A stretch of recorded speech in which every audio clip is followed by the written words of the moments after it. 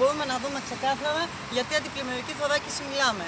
Πέντε μέρες τώρα, γνωρίζοντας ε, τα καιρικά φαινόμενα που θα γίνουν, δεν πήραν ουσιαστικά κανένα μέτρο. Αυτή τη στιγμή υπάρχει τεχνική υπηρεσία του Δήμου Καλυθέας μαζί με την πολιτική προστασία και πραγματικά δεν ξέρουν ε, τι να κάνουν. Ε, οι τεχνικοί εδώ μας λένε ότι αν συνεχιστεί ε, η βροχή και η κακοκαιρία επόμενη, την επόμενη μέρα θα βουλιάξει όλη η Καλυθέα.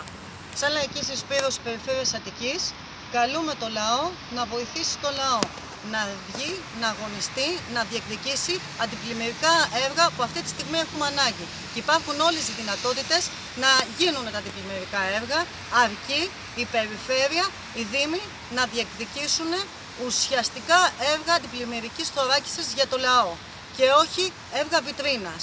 Αυτό που λέγαμε ουσιαστικά και στον προπολογισμό φάνηκε ξεκάθαρα. Ετοιμάζουν μια γαλλική ριβιέρα που ουσιαστικά το βλέπουμε εδώ πέρα ότι έγινε Βενετία.